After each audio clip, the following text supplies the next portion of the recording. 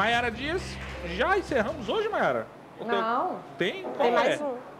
Tem da, do- da caminhonete que Pegou pegou, fogo. fogo. Pegou fogo? Ah, é verdade, interditou a BR Por horas, 277, né? Por horas, Menino, verdade. teve, teve um engarrafamento quilométrico. Métrico. Conta pra gente. É, isso foi em Morretes, no litoral do Paraná. Essa colisão acabou fazendo com que, com que a caminhonete pegasse fogo. As imagens são impressionantes, porque incendiou tudo realmente nesse acidente. Segundo informações preliminares, a caminhonete bateu na traseira do caminhão, ocasionando aí todo o fogo. A fila de carros chegou a 6 quilômetros é, no sentido ali da capital.